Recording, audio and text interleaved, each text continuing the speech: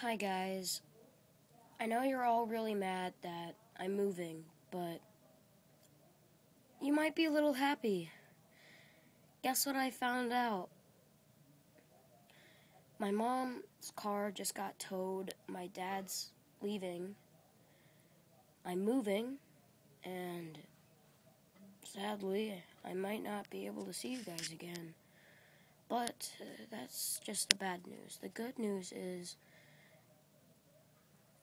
mom's car was towed, and now she's thinking that we might not be able to move. And she's already thinking that I might be able to just stay over in this neighborhood for school and only go over to her house on the summer. My no, not on the summer, in the summer. Whatever, you get the point.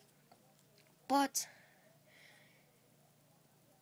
that's really all I have to say. And if I just hope you guys are okay with this because I don't know what to say. Because you guys are like the best, my my best friends. I, you guys are like the only friends that I've ever had that long.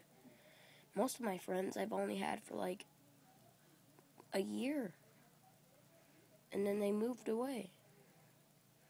Guys are the longest friends I've ever had. My best ones, too.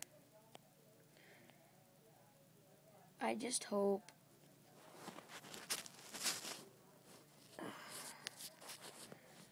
I get to stay.